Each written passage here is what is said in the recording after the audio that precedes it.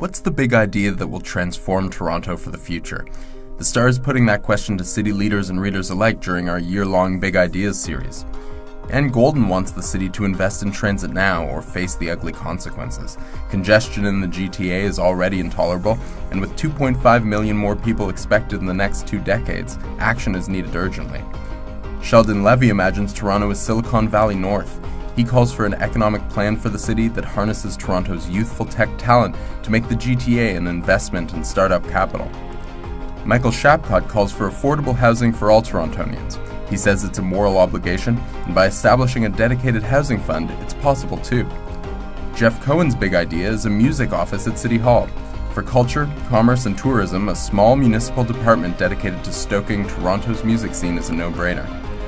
Ratna Omidvar envisions exhibitions at Union Station and Pearson Airport honoring the immigrant experience, reflecting us back to ourselves, boosting morale, and enticing tourists.